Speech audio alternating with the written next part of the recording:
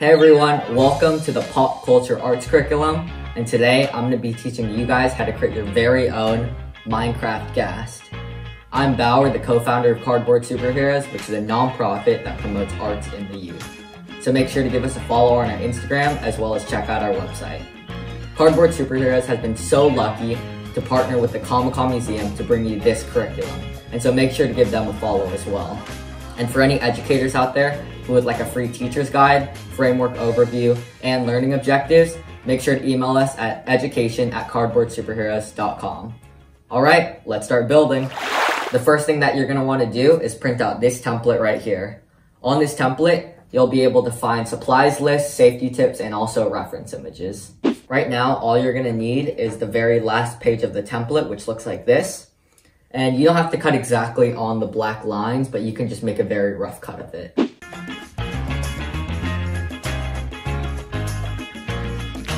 Now that you finished cutting out all of your template pieces, we're gonna start taping it onto our cardboard. Once you've taped down all of the template pieces, we're gonna start cutting them out. And so as you can see, some of the template pieces have numbers next to them, for example, 16 long tentacles. And so that number just signifies how many times you need to cut out that same piece. And so once I cut out one of the, ten the long tentacle pieces, I'm gonna take the same template, place it down and cut it out 15 more times. That way you have 16 in total. And so if you guys wanna create the exact replica of mine, which looks like this, you're gonna need to cut out all of the tentacle pieces but if you guys don't want to cut out that many, you can just eliminate the short ones. But I really do encourage you guys to cut out all of them because in the end, it does look a lot cooler.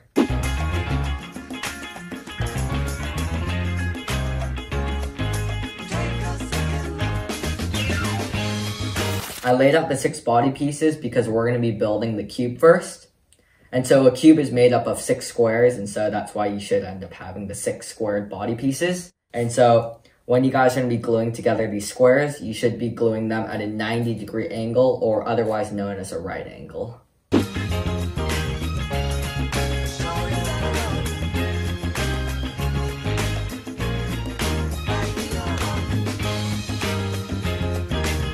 The next thing that you're going to be doing is gluing on the two eyes as well as the mouth. And you can glue this in any way possible and basically you can choose his emotion of what he looks like. So I glued on my eyes and mouth sort of like this so he sort of looks silly. And so you can kind of just be creative and glue it in any way you want. And so I made him look more silly like that. And so the next thing that we're going to be doing is we're going to be gluing all of the tentacle pieces together. And so that's why I laid them all out. And I laid them all in stacks of four. So there's four long tentacle stacks here, and then four short, and then there's four in the front tentacles. And so you're just to be gluing all of these together.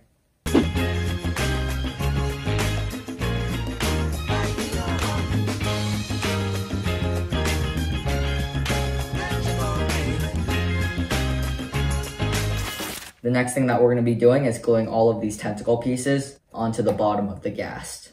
And so the three most important pieces are two long tentacle pieces and the one front tentacle piece.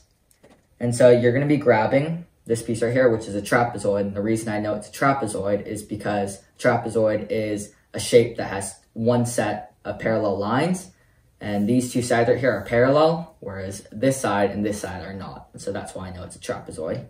And this is gonna be going onto the back side of the ghast, which is like about right there. And you're gonna glue it so that it's slanted away from where his eyes are. So his eyes are here and it's getting slanted away. And this is at a 25 degree angle. And the reason I know this is because I used a protractor, which is this device right here and I measured the, the degree of the angle. And so you're gonna glue one of the long tentacle pieces there, and you're gonna glue the other one symmetrical to that one, which is about right there. And once you've glued those down, you're gonna grab the one front tentacle piece, and you're gonna glue it in the front middle of the ghast, which is about right there.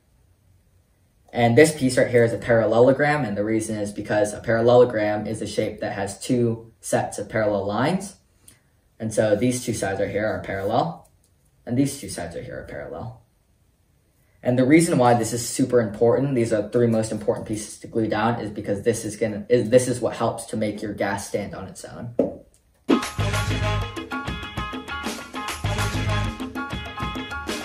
Now your ghast can stand all by itself. And so we're now just gonna glue on the rest of the tentacle pieces.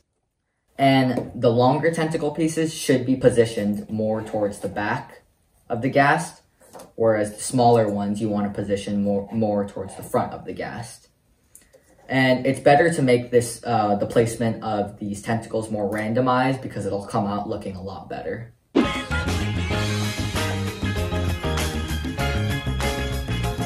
Congratulations, and I hope you guys had fun building the ghast with me. Remember that this model is part of a larger curriculum, so there are many more models to come. I hope to see you guys next time, and see ya!